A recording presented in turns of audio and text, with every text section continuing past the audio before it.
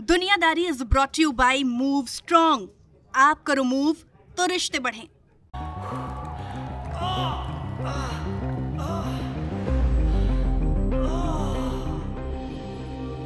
मोच न घुटनों में हो, न रिश्तों में। Strong move four in one आप करो मूव तो रिश्ते बढ़े। अब दर्द से राहत के साथ साथ पाव कीटाणुओं से सुरक्षा भी। स्ट्रॉन्ग मूव के साथ डेटॉल एंटीसेप्टिक लिक्विड बिल्कुल मुफ़्त।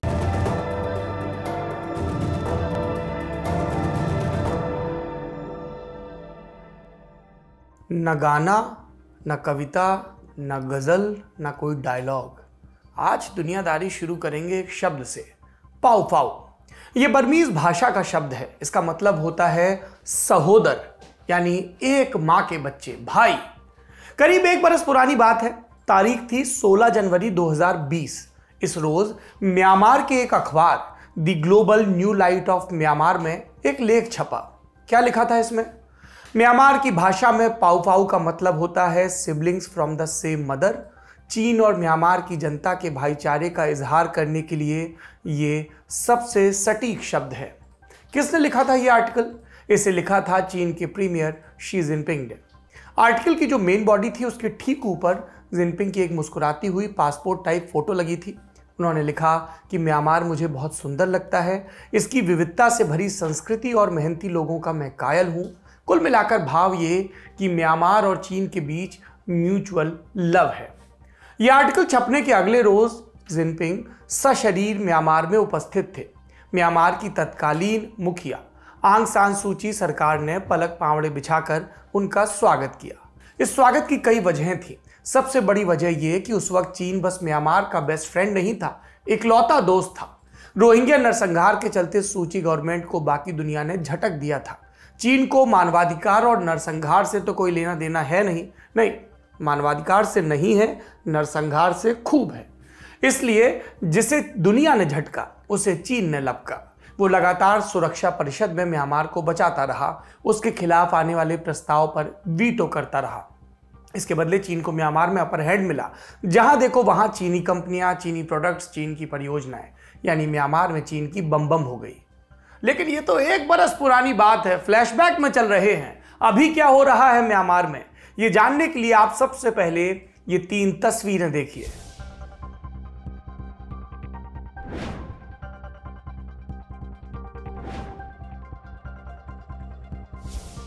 क्या दिखा?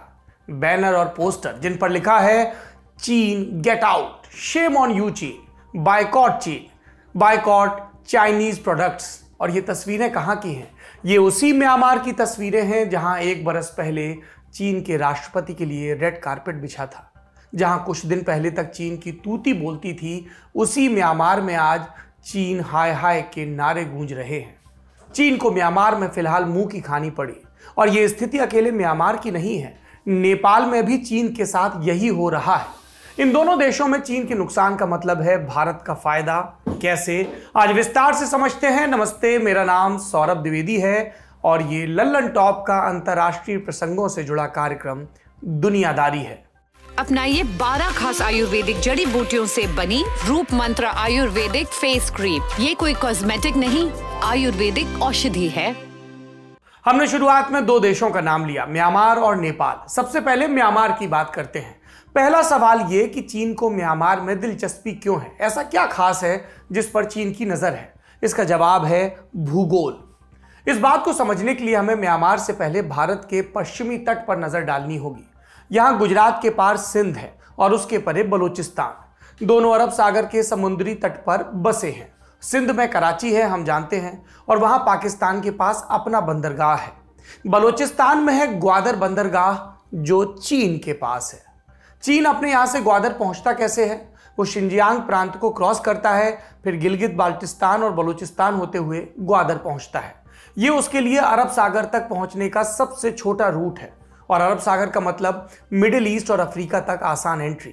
साथ में हिंद महासागर में भारत को घेरने और चुनौती देने का फ़ायदा अलग। वेस्ट कोस्ट की तरह चीन ईस्ट कोस्ट में भी हमें घेरने की कोशिश कर रहा है। ईस्ट कोस्ट पर हमारे दो नज़दीकी पड़ोसी हैं, बांग्लादेश और म्यांमार। चीन ने पहले बांग्लादेश के रास्ते हमें घेरने की कोशिश की। यहाँ सोना दिया आइलैंड नाम की एक जगह है। आप मानचित्र पर देखेंगे तो समुद्र पर ठीक कोलकाता के समानांतर ये लोकेशन नज़र आएगी। चीन यहीं पर एक पोर्ट बनाना चाहता था। उसने बांग्लादेश से कहा, तुम बंदरगाह बनाओ, हम पैसा देंगे। ये बात लगभग तय हो गई थी, लेकिन फिर बांग्लादेश ने पैर पीछे खींच लिए। खबरों के मुताबिक, बांग्लादेश ने चीन को पिक्चर से हटाकर जापान को अप्रोच किया। बांग्लादेश में चीन को एक बड़ा झटका मिला इसके चलते। लेकिन इसका मतलब ये नहीं कि वहाँ पर चीन का चैप्टर खत्म हो गया। चीन की दो कंपनियों ने 2019 में बांग्लादेश के साथ एक डील की। इसके तहत चीनी कंपनियाँ बांग्लादेश के पायरा पोर्ट को डेवलप कर रही हैं और ये पायरा पोर्ट सुंदरबन के पार ठीक कोलकाता के बराबर में है। इसके अलावा चीन बांग्लादेश के चटगांव में भी एक बंदरगाह विकसित कर रहा है। अब ईस्ट कोस्ट के हमारे दूसरे पड़ोसी म्यांमार की तरफ़ चलते हैं। आप मानचित्र पर म्यांमार की लोकेशन देखिए। इसके पूर्व में चीन का यूनान प्रांत पड़ता है, उत्तर में तिब्बत है, जिस पर चीन का कब्जा है। अब इसी मानचित्र पर भारत को देखिए। हमारे नॉर्थ ईस्ट का एक बड़ा हिस्सा म्यांमार की सीमा से जुड़ा है। अरुणाचल प्रदेश से नीचे होते हुए नागालैंड, मणिपुर, मिजोरम की एक लंबी सीमा म्यांमार से जुड़ी है। चीन अरुणाचल पर अवैध दावा करता है। अगर उसे म्यांमार में अपर हैंड मिले तो उस रास्ते भी वो हमें तंग कर सकता है। अब सोचिए कि अगर चीन अपने यहाँ से म्यांमार में दाखिल हो उसके दक्षिण की तरफ़ नीचे आए तो वो पहुँच जाएगा बंगाल की खाड़ी। यानी उसके लिए ये रूट हिंद महासागर पहुँचने का शॉर्टकट है। और यही शॉर्टकट और इंडिया से नज़दीकी म्यांमार में चीन की दिलचस्पी का सबसे बड़ा कारण है। और यही वजह है कि पाकिस्तान की तरह उसे म्यांमार में भी एक ओवर फ्रेंडली सरकार चाहिए। 2015 में जब सूची म्यांमार की लीडर बनी तो चीन पसोपेश में था। इसकी वजह थी सूची की छवि। वो मानवाधिकार की चैंपियन मानी जाती थी, भारत की मित्र मानी जाती थी, उनकी पढ़ाई लिखाई यहीं हुई। चीन को लगा कि एक लोकतांत्रिक और जिम्मेदार सरकार उसके साथ नजदीकी बढ़ाने से हिचकेगी। लेकिन इसका उल्टा हुआ। पावर में आकर सूची बदल गई। सत्ता संभालने के बाद अपनी पहली विदेश यात्रा के लिए उन्होंने चीन को चुना। इसके साथ कई सारे व्यापारिक समझौते भी हुए। चीन म्यांमार का सबसे बड़ा विदेशी निवेशक बन गया। उसकी बेल्ट एंड रोड परियोजना का एक बड़ा अहम हिस्सा भी म्यांमार हो गया। बाद के दिनों में रोहिंग्या क्राइसिस के चलते म्यांमार जब पूरी दुनिया से कट गया, उस पर अंतर्राष्ट्रीय प्रतिबंध लगने लगे, तब भी चीन का म्यांमार में दखल और बढ़ा। 2018 में इसी दोस्ताना सूची सरकार ने चीन के साथ एक बड़ा स्ट्रेटजिक करार किया। गैस कीजिए किस चीज़ की डील थी ये? ये डील थी एक बंदरगाह की। म्यांमार में क्या यू कप्यू नाम की एक जगह है। क्या यू कप्यू, बढ़िया सा नाम है ना, प्यारा सा। यहाँ चीन के साथ मिलकर म्यांमार एक पोर्ट बना रहा है। हमारा ओडिशा वाला हिस्सा है, उसी के समानांतर बंगाल की खाड़ी के पार पड़ता है क्या यू कप्यू। यहाँ बन रहे पोर्ट में चीन और म्यांमार की साझेदारी है 70 और 30 की, यानी 70 परसेंट चीन देगा, बाकी 30 परसेंट म्यांमार। इसके लिए भी चीन म्यांमार को आसान लोन मुहैया कराएगा। अब ज़ाहिर सी बात है कि जिसका ज़्यादा निवेश होगा, उसका असर भी ज़्यादा होगा। एक आशंका यह भी है कि अगर म्यांमार अपने हिस्से का रिटर्न नहीं दे सका तो मुमकिन है कि चीन इस पर समूचा कब्जा कर ले। ठीक उसी तरह, जैसे उसने श्रीलंका के हम्बन टोटा पोर्ट पर कब्जा किया। अब कुछ बिंदुओं में जान लीजिए कि म्यांमार में चीन के और कौन से बड़े प्रोजेक्ट्स हैं। पहला 24 हाइड्रो पावर प्रोजेक्ट्स दूसरा, दो बंदरगाह प्रोजेक्ट इनमें से एक डीप सी पोर्ट है और एक सामान्य पोर्ट तीसरा छह माइनिंग यानी खनन से जुड़े प्रोजेक्ट। चौथा, एक पावर प्लांट प्रोजेक्ट। पांचवा, तीन इंडस्ट्रियल पार्क परियोजनाएँ। छठवां, एक गैस और तेल पाइपलाइन परियोजना। इसके अलावा एक बॉर्डर इकोनॉमिक जोन भी। इसके अलावा शहरों का डेवलपमेंट, रेलवे लाइन, कृषि उत्पाद और आईटी पार्क जैसी योजनाएँ अलग से हैं। यानी म्यांमार में चीन ने खुले हाथों से पैसा झोंका है। उसे उम्मीद थी कि इसका मुकम्मल रिटर्न मिलेगा। सब कुछ उसकी प्लानिंग के हिसाब से चल रहा था, लेकिन चीन गच्चा खा गया। एक फरवरी 2021 को म्यांमार में हुए तख्ता पलट के चलते उसकी स्थिति सांप छचूंदर जैसी हो गई। क्या इसकी वजह है? क्या आर्मी लीडरशिप के साथ उसके रिश्ते ठीक नहीं? रिश्ते पूरी तरह से खराब नहीं हैं, लेकिन सूची सरकार जैसे बेहद दोस्ताना भी नहीं है। म्यांमार की आर्मी लीडरशिप चीन के साथ थोड़ा फूक फूक कर चलती है, सुरक्षित दूरी बनाकर रखती है।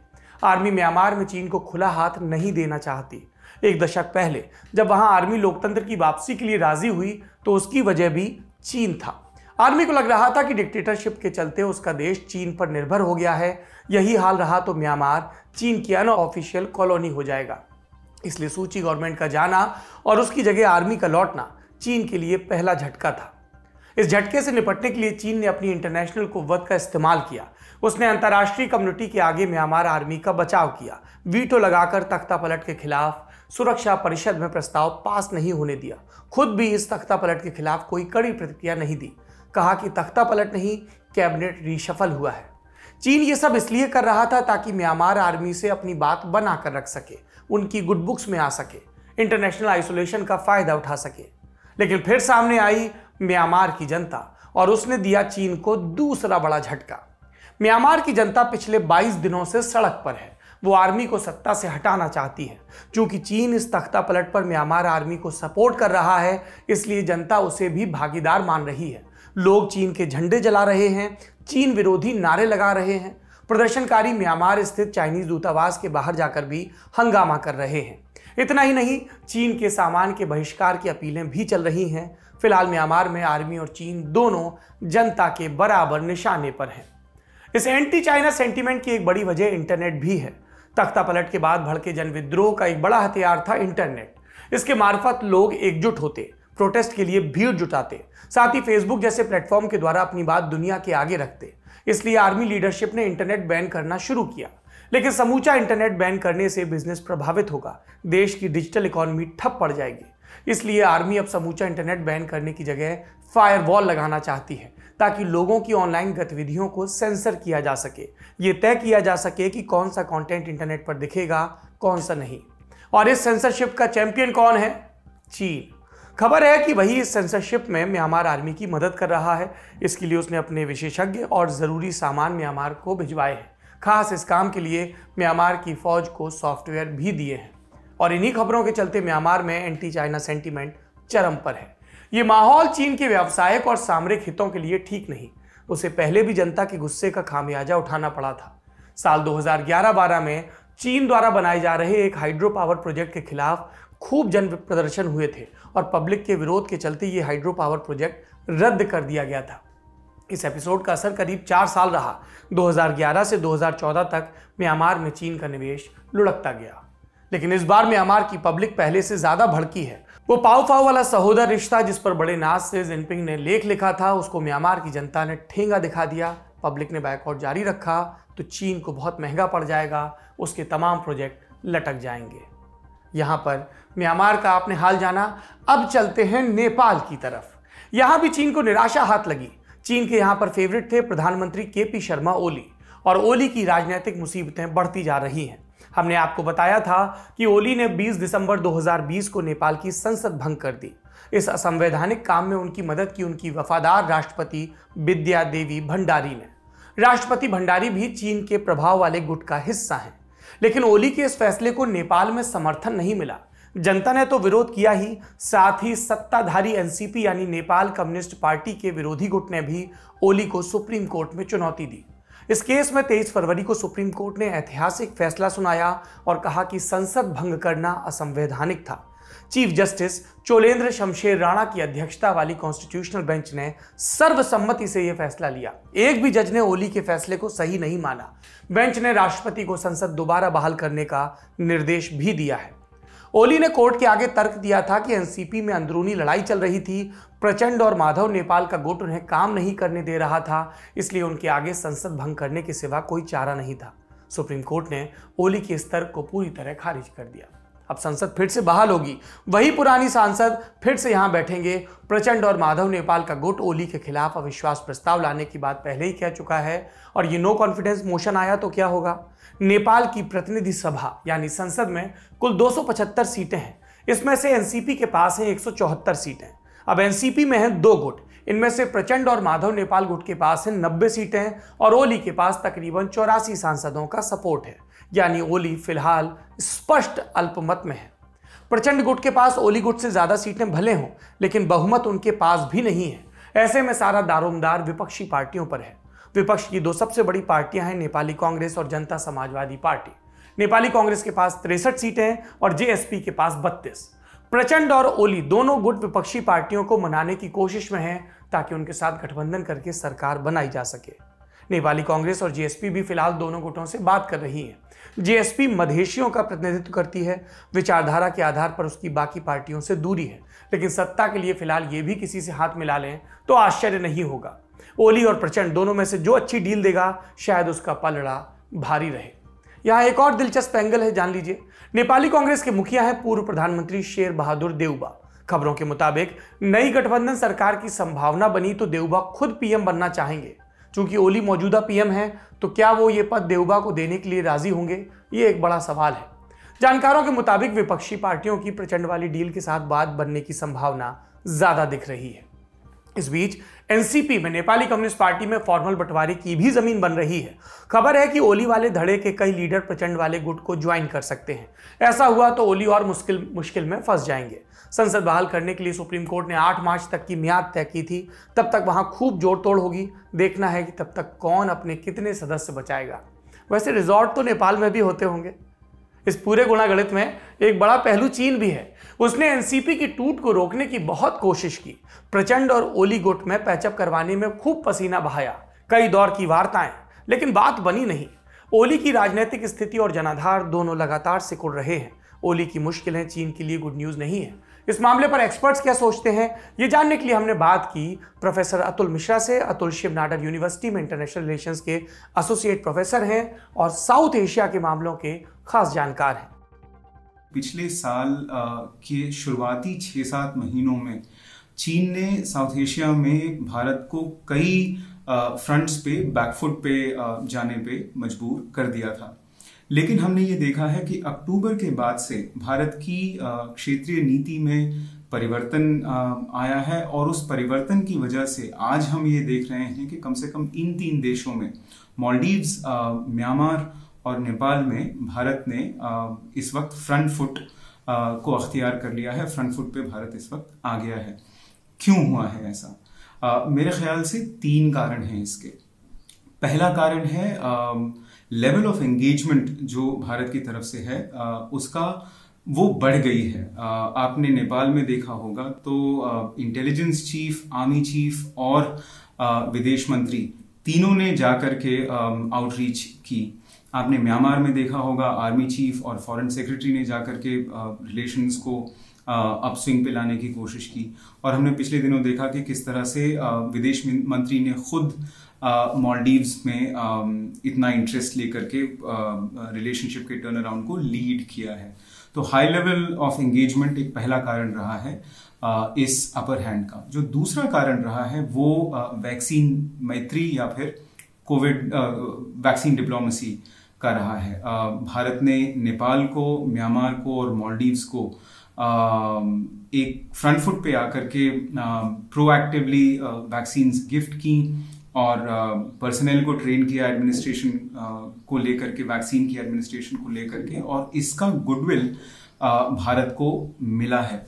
और यहाँ पर चीन को भारत ने मात दी है इन तीन देशों में। दूसरे देशों में भी, पर इन तीन देशों की हम बात कर रहे हैं तो वहाँ पर। और तीसरा जो कारण रहा है, वो एक नए तरीके का यथार्थवाद, यानी रियलिज्म भी भारत की नीति में देखने को मिला है और इसका सबसे बेहतरीन मुजाहिरा नमूना एग्ज़ाम्पल उदाहरण हमारे सामने म्यांमार को लेकर के आया, जब हमने हमारी जो स्टेटमेंट थी, उसमें भी मॉडरेशन को बरकरार रखा। हमने कहा कि जनतांत्रिक प्रक्रिया, यानी डेमोक्रेटिक प्रोसेस को हम रिस्पेक्ट करते हैं, पर साथ ही साथ हम ये भी चाहते हैं कि जो पार्टीज़ हैं, वो सब साथ में आकर के म्यांमार की जनता को जनता के की राय को रिस्पेक्ट करें। ये जब सत्ता पलट हुआ म्यांमार में तो उस कॉन्टेक्स्ट में भारत का वो स्टेटमेंट आया। साथ ही साथ भारत ने सिक्योरिटी काउंसिल में भी जो मीडिएटिंग का एक ब्रिज बिल्डिंग का रोल प्ले किया और एक मॉडरेटेड स्टेटमेंट बाहर निकाला उससे एक नए रियलिज्म की की झलक हमें विदेश नीति में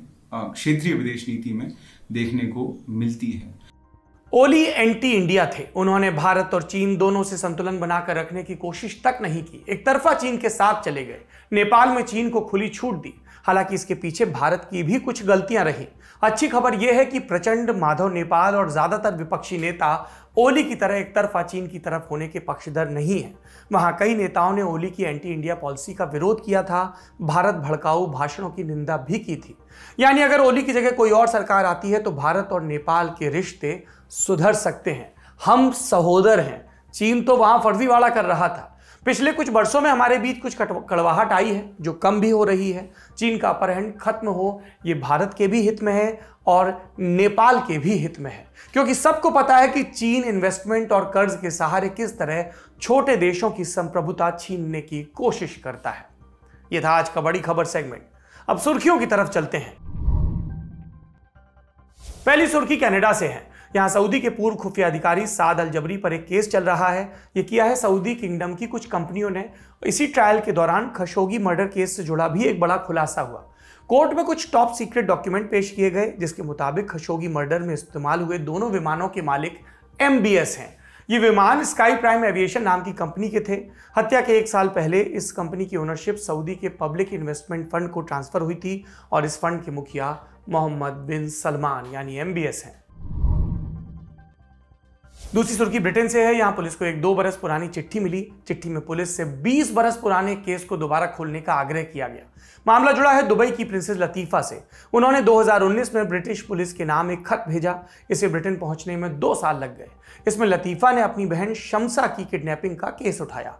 इल्ज़ाम है कि उनके पिता शेख अल मखतूम ने अगस्त 2000 में शमशा को ब्रिटेन से किडनैप कराया था। ब्रिटेन की पुलिस ने तब भी इस केस की जाँच की थी, लेकिन दुबई ने तब सहयोग नहीं किया था, इसलिए जाँच पूरी नहीं हो पाई थी और केस बंद करना पड़ा था। तीसरी सुर्खी अर्मेनिया से है, यहाँ सरकार और सेना में टेंशन बढ़ गई है। प्रधानमंत्री हैं यहाँ के निकोल पशिनियान। उन्होंने एक टॉप मिलिट्री अफसर को बर्खास्त किया, जवाब में सेना ने निकोल को अल्टीमेटम दिया। कहा कि पीएम और उनकी पूरी कैबिनेट इस्तीफा दे। इस पर पीएम ने सेना को वार्निंग दी और कहा कि तख्ता पलट की कोशिश की तो अच्छा नहीं होगा। अब पीएम अपने समर्थकों से राजधानी में जमा होने की अपील कर रहे हैं। हम जानते हैं कि 2020 में अर्मेनिया और अजरबैजान की लड़ाई हुई थी, जिसमें अर्मेनिया हार गया था। इसके बाद से ही सेना और पीएम के बीच तनाव है। आज की दुनियादारी में इतना ही। अपना ख्याल रखिए। शुभ रात्रि। कसर रह गई हमारी कोशिशों में। कसक रह गई कि देश जितना बेहतर, जितना महान हो सकता था, हो नहीं पाया। और एक कसम रह गई कि देश का जो कर्ज है, उसे थोड़ा बहुत तो उतारना है। भावुकता का लबादा ओढ़ कर बोलता तो यूँ बोलता, लेकिन बात सीधी है तो सच्चे ढंग से आप तक कही जानी है।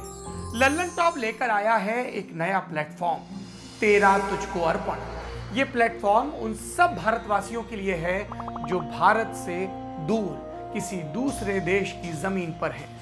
कभी पढ़ाई के लिए, कभी नौकरी के लिए। ये उन सब भारतवंशियों के लिए भी है, जिनकी पहचान का हिस्सा ये महान देश है। लेकिन कुछ कसर और कसक है। तो आइए कसम खाएँ कि देश को बेहतर बनाएँ। हमें आपसे चाहिए आपके हिस्से का ज्ञान, जो आप लल्लन टॉप के ज़रिए अपने देशवासियों के साथ साझा करें। ये मस्ती के पल भी हो सकते हैं जब आप कहीं घूमने जाएँ और आपको लगे कि सिर्फ़ मेरे यार दोस्त और परिवार वाले ही क्यों? पूरा देश जाने इन नायाब चीज़ों के बारे में। ये पॉलिसी से जुड़ा, ज्ञान से जुड़ा कोई मसला हो सकता है। तो आइए और लल्लन टॉप की इस नई पेशकश। तेरा तुझको अर्पण का हिस्सा बनिए।